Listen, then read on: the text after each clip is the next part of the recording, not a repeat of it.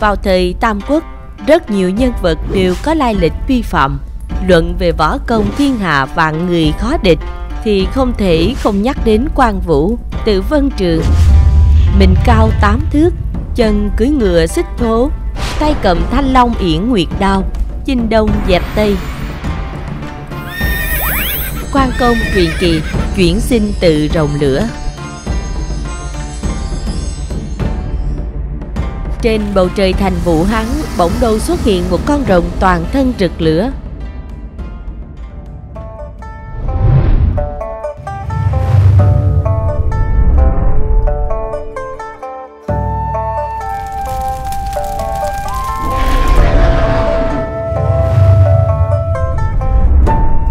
Làm sao ta có thể thiêu cháy cả thành này được Nhà họ vạn này tội ác tày trời, Không thể tha thứ.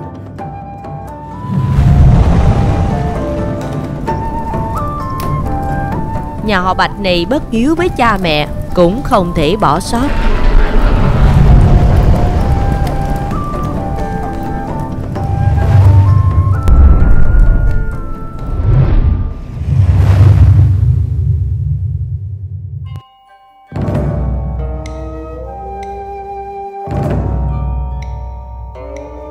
Muôn Tô Ngọc Hoàng, Thần đã đốt cháy trăm vạn hộ gia đình Có đạo đức suy bại ở thành Vũ Hán rồi. Người hãy lùi ra. Dạ xoa đâu? Tô Ngọc Hoàng có thần. Hỏa Long vốn lương thiện nhưng thiếu quyết đoán. Lẽ trời là công minh, Trái lẽ ấy là phạm tội. Người hãy mau đến thành Vũ Hán Coi xem Hỏa Long có làm đúng theo mệnh lệnh ta truyền không? Xin tuân mệnh.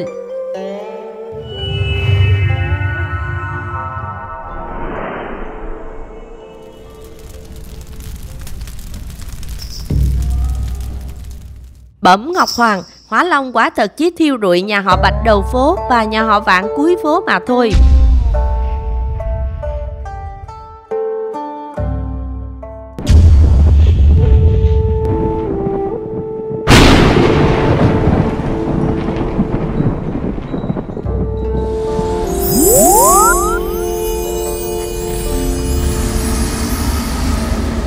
Ngươi là ai?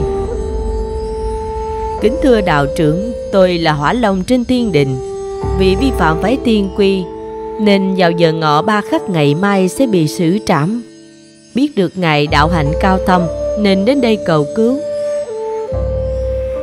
Ông là thần, tôi là người phàm, làm sao tôi có thể cứu ông được chứ? Xin ông lấy cái chậu sứ rồi lót giải bông sù bên trên. Vào giờ ngọ ngày mai, nhớ tiếp lấy một sợi chỉ đỏ từ trời rơi xuống, thì tôi được cứu rồi. Trong lửa nói xong liền biến mất.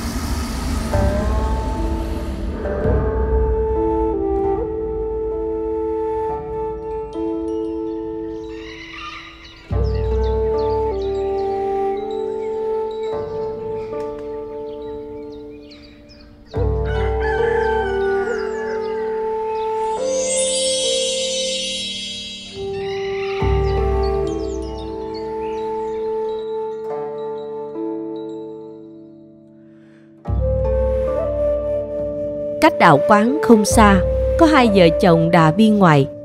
Tuổi đã ngoài 50 mà vẫn không có con. Cầu mong thần Phật rủ lòng thương, ban cho vợ chồng chúng con một đứa con nối giỏi.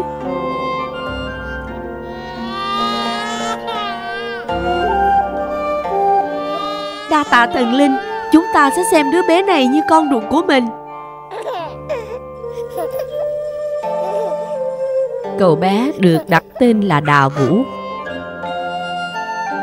15 năm trôi qua, Cậu bé Đà Vũ trên xà nhã năm nào Nay đã lớn khôn. Thiên binh thiên tướng, Hãy mau đi bắt hỏa long về ngay cho ta.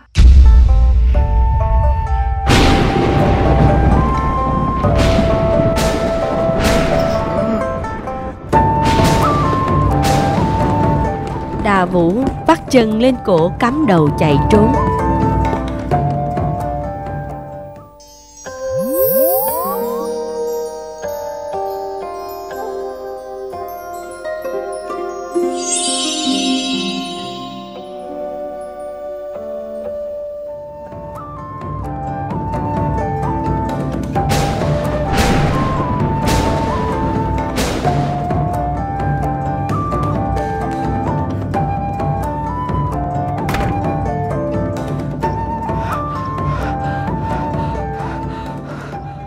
Xin lão tái tái cứu tôi.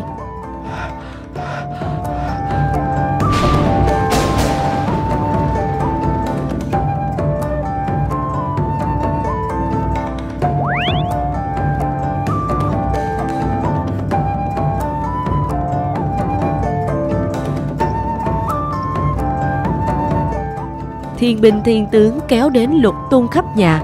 Chỉ thấy một đại hán mặt đỏ râu đen nằm trên giường nên bỏ đi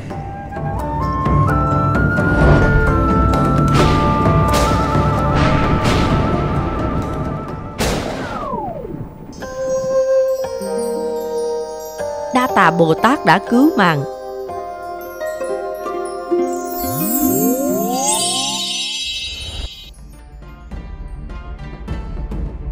Thế là từ đó Đà Vũ đổi tên thành Quán Vũ.